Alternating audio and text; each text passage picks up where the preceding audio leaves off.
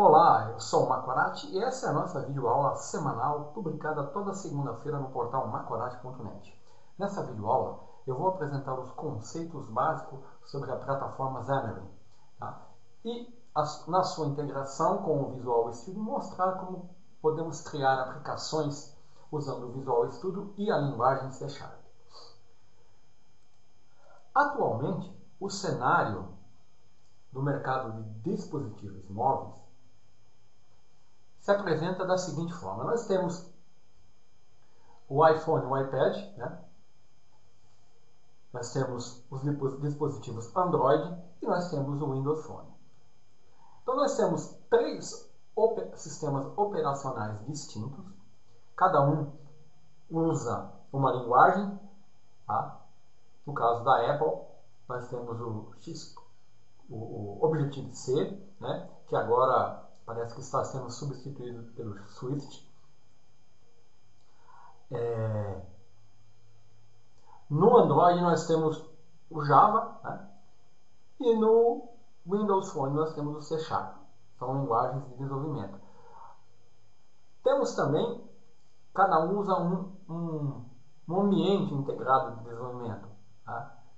Então eu tenho o Xcode aqui no, na Apple, o Eclipse no Android e o Visual Studio no Windows Phone.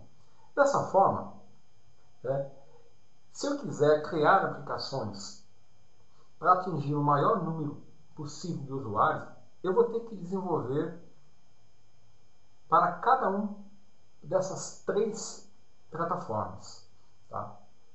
E isso é, vai demandar um esforço muito grande, porque cada uma tem a sua particularidade, eu vou ter que conhecer aspectos e recursos do, do iOS, do Android, tá?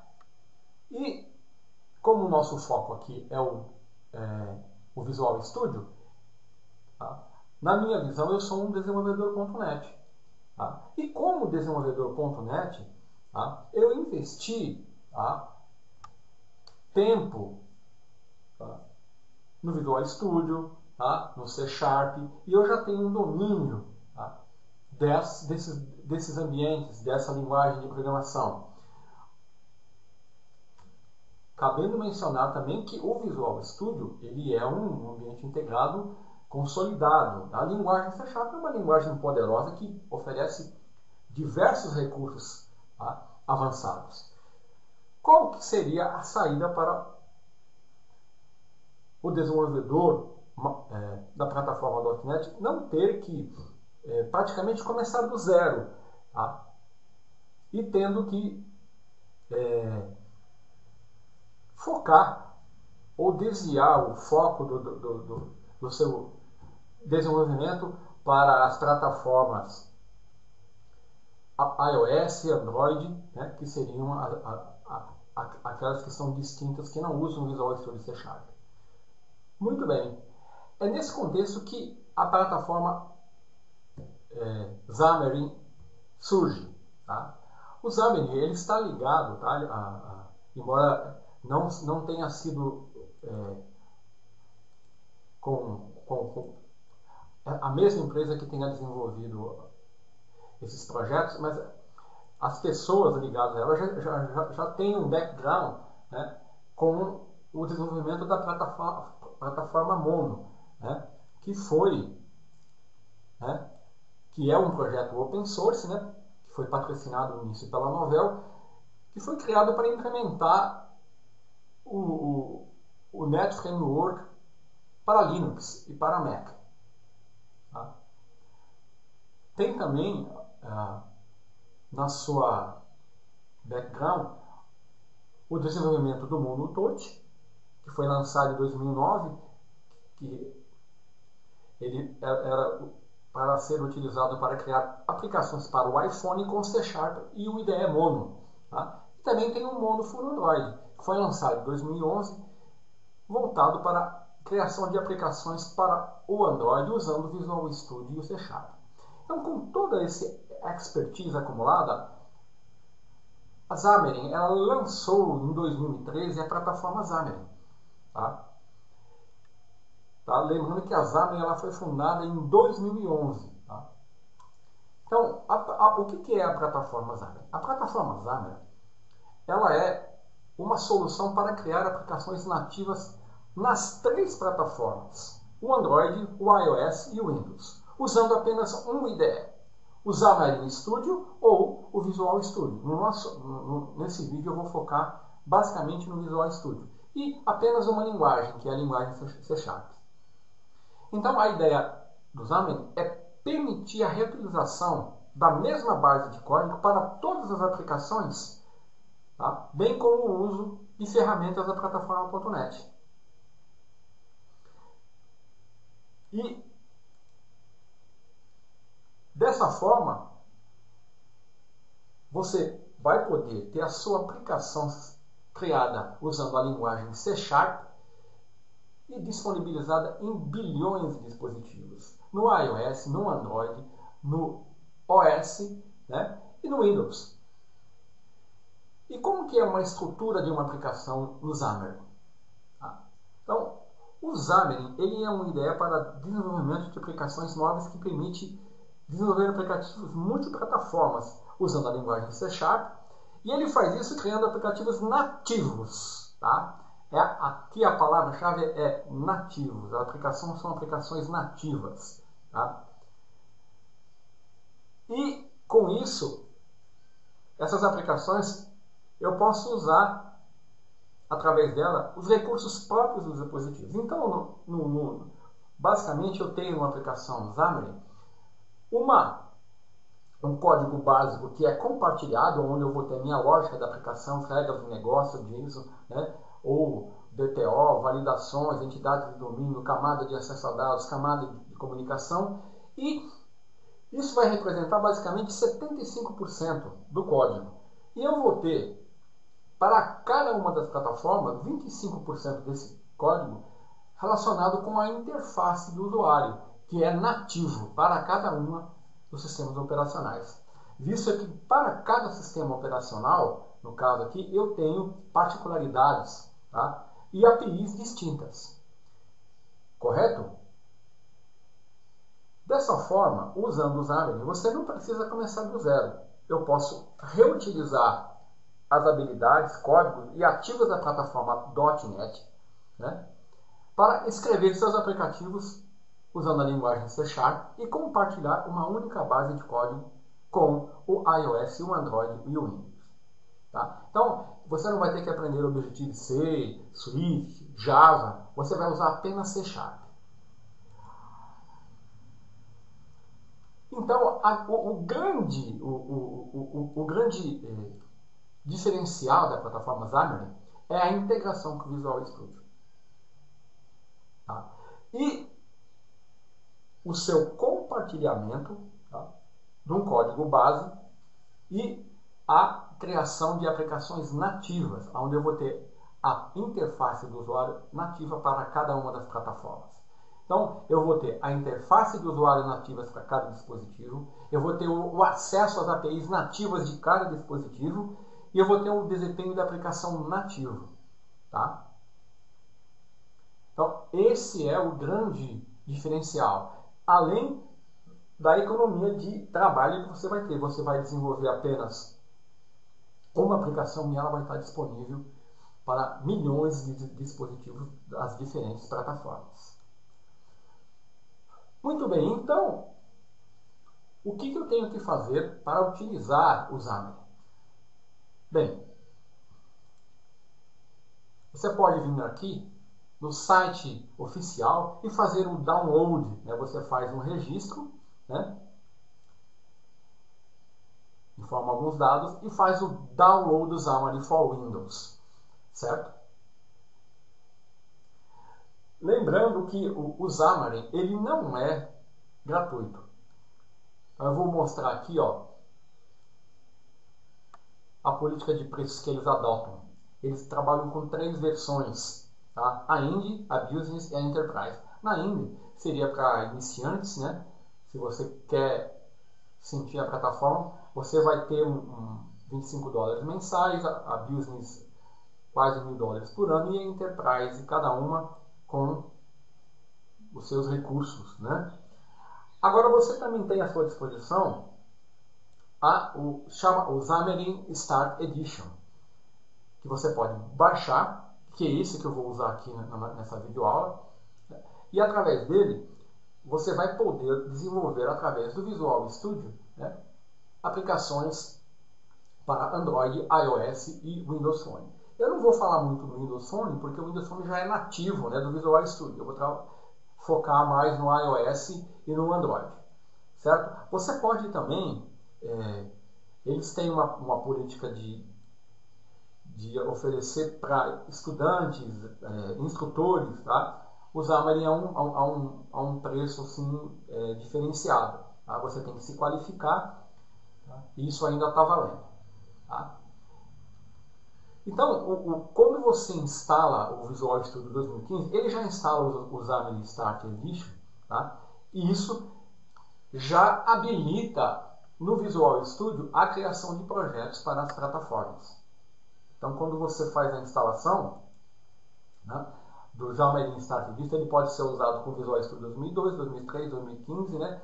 E o interessante é que isso inclui as versões Community, que são versões equivalentes às versões Professional e não tem custo nenhum. Então, o, o Xamarin Start, ele tem uma, uma limitação do tamanho das aplicações e ele também é limitado com relação ao que, àquilo que você pode desenvolver. Então, você pode criar, debugar e fazer o deploy para um simulador de dispositivo usando o Xamarin Start e pode publicar suas aplicações no Apple, Apple Store, no Amazon Store e outras app públicas. Então, quando você instalar o, o, o Xamarin, ele vai fazer a instalação é, completa com todos os recursos que você precisa para usar né, através do Visual Studio da linguagem C Sharp é, a criação das aplicações para os ambientes iOS e Android. Tá? O Windows Phone aqui é, é, já é nativo, ele já pode fazer isso sem depender do Xamarin. Então, quando você instala o Xamarin, ele vai instalar o Xamarin Studio, o Xamarin Visual Studio, o Android SDK, que ele precisa para fazer a, a, o desenvolvimento para Android, o Java SDK e o GTK, que é um kit de ferramentas, né, de, de, de ferramentas para interface, para Mono e para .NET. Então, quando você termina de instalar, tá?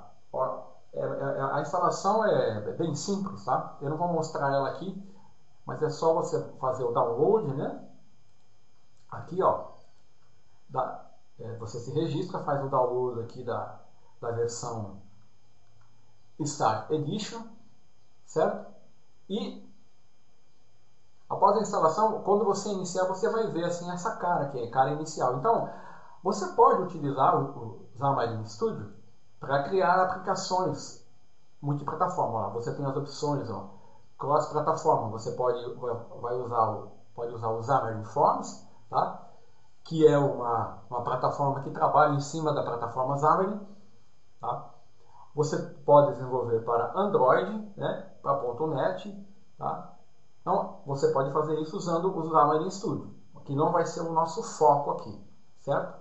Então, só queria mostrar para você aqui a, a, a cara do, do Xamarin Studio. Como o nosso foco é o Visual Studio, eu vou abrir aqui a versão 2015, Community, que eu estou usando, e mostrar para você os tipos de projeto que você tem à disposição né, com a instalação do Xamarin. Então, eu vou criar, clicar aqui em, em New Project. Então, ó, selecionando o Visual C Sharp, para Android, olha aqui as opções. Você pode criar uma aplicação em branco, numa web app, OpenGL, Class Library, tá?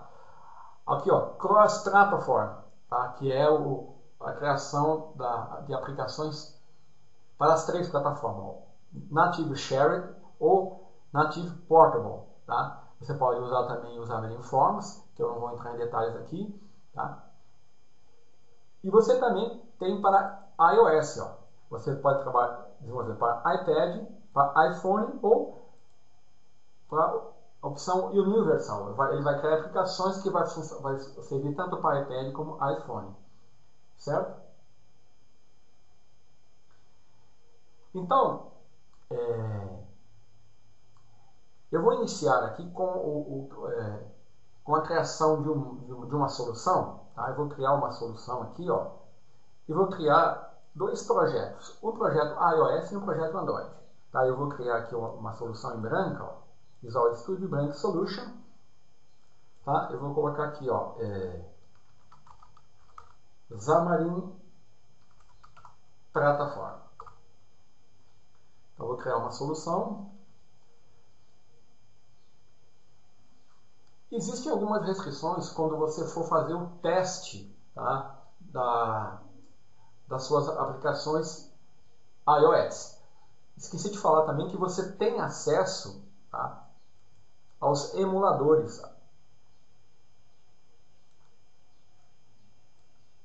Quando você instala o Xamarin e ele instala o SDK do Android, você tem acesso aos emuladores Google Android tá? e também é, se você tiver um Mac em rede ou um Mac, você vai ter acesso aos dispositivos do Mac OS.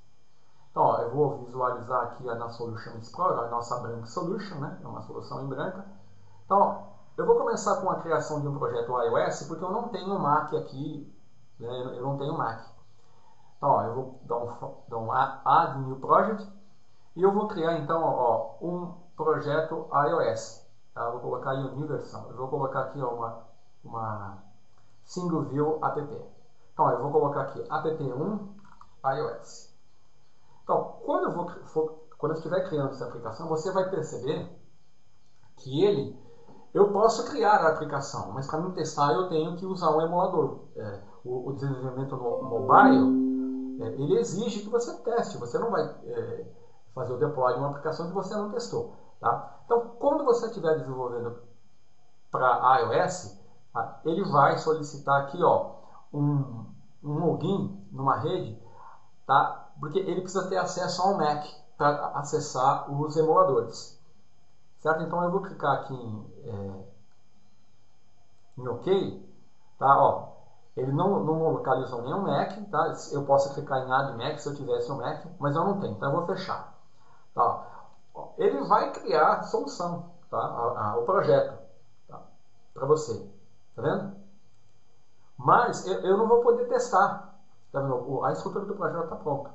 Tá? Então, como eu não vou poder testar, então é, fica meio prejudicado. Mas é, o que vale é que você pode é, fazer a criação do projeto né, aqui no ambiente do Visual Studio. Certo? Então agora eu vou criar um outro projeto para Android. Vou dar a Project.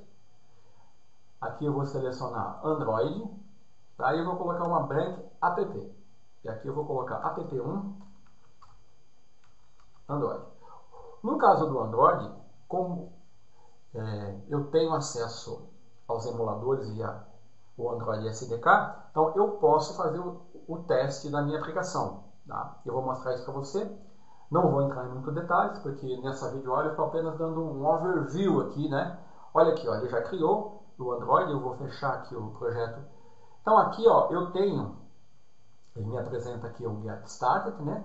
Então eu tenho aqui, ó, a minha, o meu código já gerado, ó, o meu main activity do Android, ó. E aqui você percebe que eu tenho aqui, ó, no código C Sharp, tá? Uma um, pode ver que eu tenho um public class aqui e eu tenho aqui, ó, a definição de um button, tá vendo, ó? E de um evento, de um button, aonde é, se você notar aqui, ó, eu estou tendo um contador que é definido aqui, ó, com o valor 1. E nesse evento, tá vendo, ó, button click, o evento click do button, quando ele for clicado, ele vai incrementar esse contador, certo? Para você perceber aqui o layout, você vem aqui em Resources, você tem aqui em Layout da aplicação, ó, você tem aqui acesso ao Main XML, né, que é o é,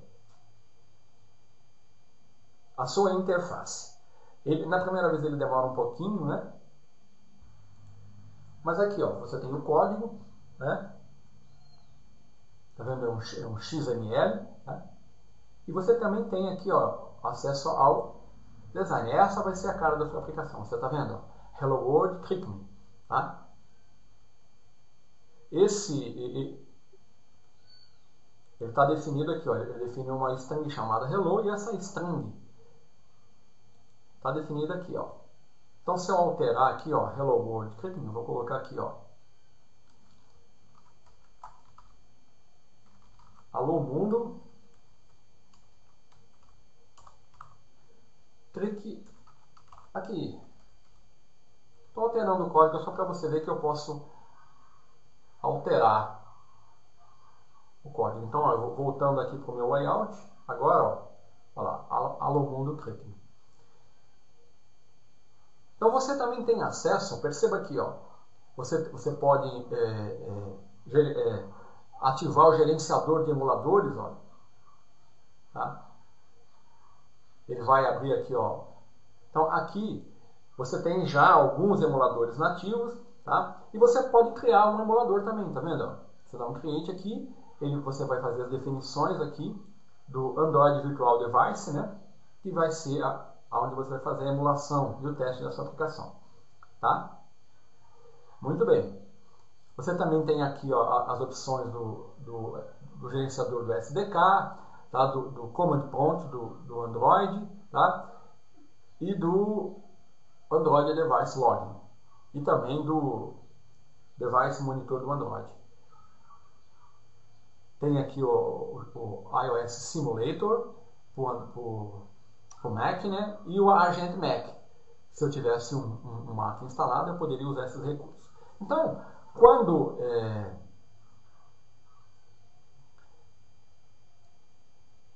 você termina a sua aplicação, basta você fazer o teste dela usando o emulador. E é isso que nós vamos fazer agora, aqui na nossa aplicação. Você vai ver, é, embora ela seja muito simples, você vai ver o emulador funcionando. Então eu vou aqui selecionar a minha aplicação Android, né? E aqui eu vou usar um,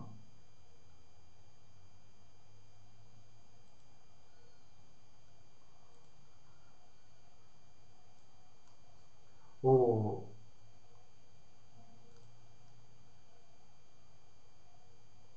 um simulador. Deixa eu abrir aqui o meu simulador aqui, ó. Deixa eu vir aqui pro Source.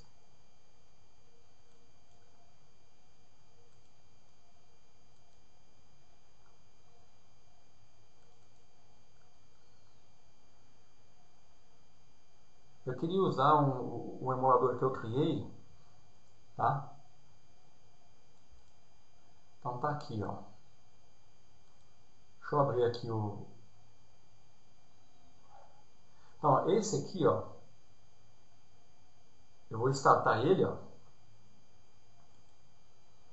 Ele vai demorar um pouquinho para startar. Então, eu estou levantando o meu emulador, tá vendo? Tá aqui a carinha dele, tá? Ele ainda não terminou. Muito bem. Então eu vou... E agora eu vou testar a minha aplicação. Vou executar. Vou, é, vou clicar aqui no app Android. Verificar se o emulador está startado, tá? Antes de executar, é, é bom você fazer o seguinte, olha. Aqui, ó, às vezes você pode executar e o, emulador não funcionar. Então, o que pode ocorrer é o seguinte, aqui na, nas propriedades da sua aplicação, você tem aqui, ó, em Application, tá, a, a versão do Android, tá? Se você estiver usando uma versão muito é, muito nova, talvez o emulador que você está usando não suporte, tá? Então, Aqui eu vou definir aqui uma versão mais antiga que, dá, que é suportada na maioria dos emuladores. Certo? E aqui agora eu vou poder selecionar aqui ó, o meu AVD Nexus que eu criei para emular.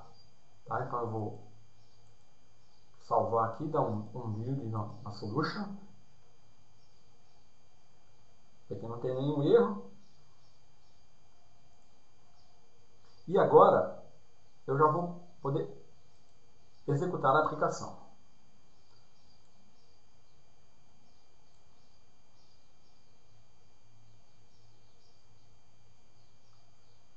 Acho que na primeira vez que ele carrega, ele demora um pouco, porque ele tem que levantar, é, publicar muitas libraries, né?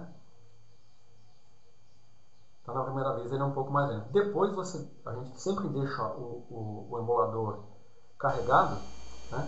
E ele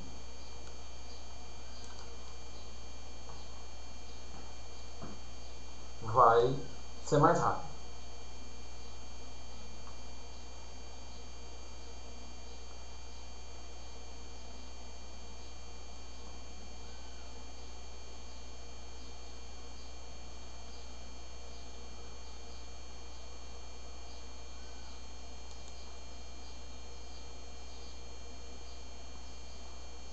Então nós estamos vendo aqui o progresso né, da, do deploy.